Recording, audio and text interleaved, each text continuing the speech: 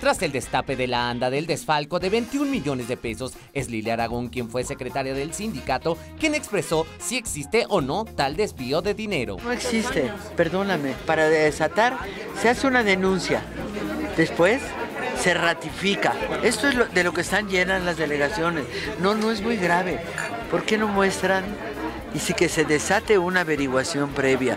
Toda acusación en este país, si no se desarrolla a través de una averiguación previa, no existe ustedes pregunten, ¿dónde están estos 27 millones de pesos?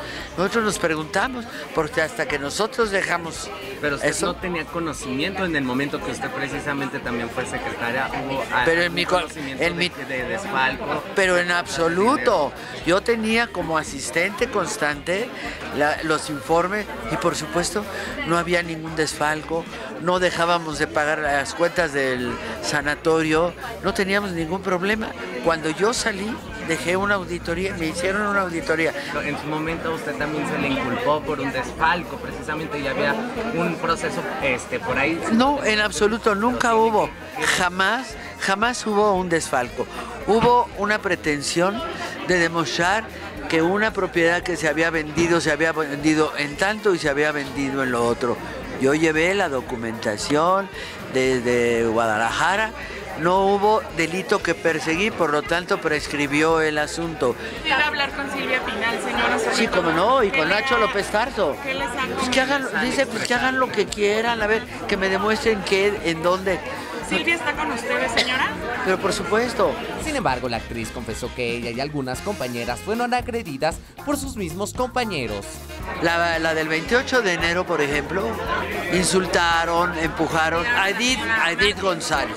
Bueno, Edith, que hizo un gran esfuerzo, que es una mujer que está enferma. ¿Denuncia, señora, por estas Sí, yo, yo tengo ya una denuncia por esta falta de respeto. Eh, no, en contra de, directamente en contra de ella.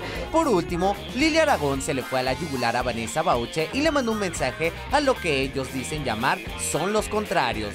La señorita Bauche nunca había ido a una asamblea fue a incendiar, a denostar, a, ofender, a gritar, como es su costumbre.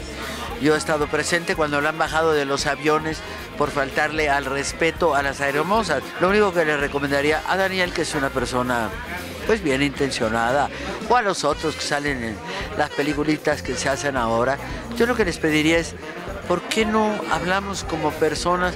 Con imágenes de Enrique Núñez informó para la cuchara Ismael Matúa.